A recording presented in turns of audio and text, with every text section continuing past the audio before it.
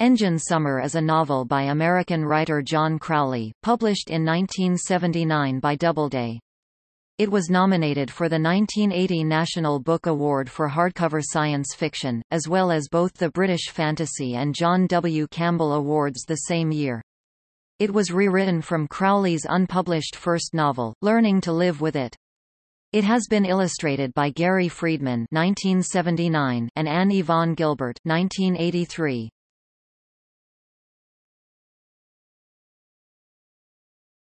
Topic. Plot summary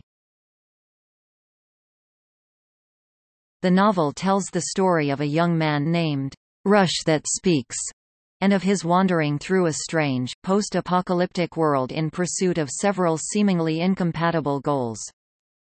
The story is set in a post-technological future, the present age is dimly remembered in story and legend, but without nostalgia or regret.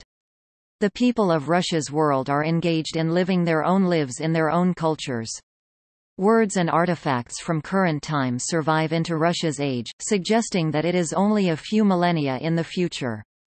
Yet there are hints that human society and even human biology are significantly changed.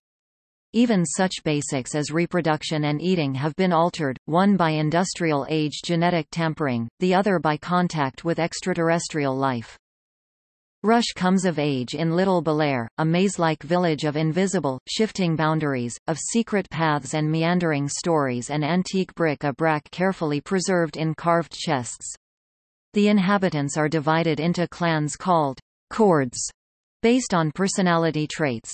Over the centuries, the people of Little Belaire have perfected an art which they call truthful speaking, communication so clear and accurate, so transparent, as to leave no potential for deception or misunderstanding. Perhaps as a result of this practice, Little Belaire appears to be free of any violence or even serious competition.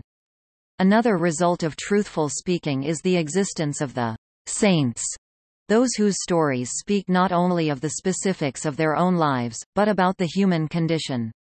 Yet even with the benefit of truthful speaking, secrets and mysteries remain. Rush's journey is set in motion when the girl he loves, once a day, elopes from Little Belaire to join another group, an enigmatic society called Dr. Boots's List.